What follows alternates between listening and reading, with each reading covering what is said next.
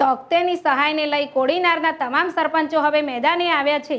મામલતદારને આવેદન પાઠવી ખેડૂતોની સહાય માટે કરી માંગ. આ દ્રશ્યો છે ગીર કોડીનાર મામલતદાર કચેરીના, જ્યાં કોડીનાર સરપંચ એસોસિએશન ભેગું થાય. મામલતદારને આવેદનપત્ર પાઠવી વખતે વાવાઝોડામાં નુકસાનીને લઈને સરપંચોમાં રોષ ભભૂક્યો છે. વાવાઝોડા બાદ સરકારે સહાયની જાહેરાત કરી અને સહાય પણ આવી પરંતુ હજારો ખેડૂતો આ સહાયથી વંચિત રહ્યા છે, જેના કારણે સરપંચોને આવેદનપત્ર પાઠવવાની ફરજ પડી છે.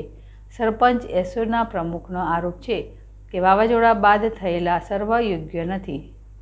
અધિકારીઓ માત્ર ગામના એક બે લોકોની વાડી પર જઈ સર્વે કર્યો છે, જેના કારણે આઠ હજાર ખેડૂતો એટલે કે પચાસ ટકા જેટલા ખેડૂતો વંચિત રહ્યા છે.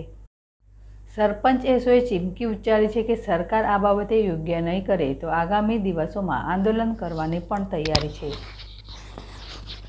પરેશ જાદવ ટીવી, ગીર સોમનાથ.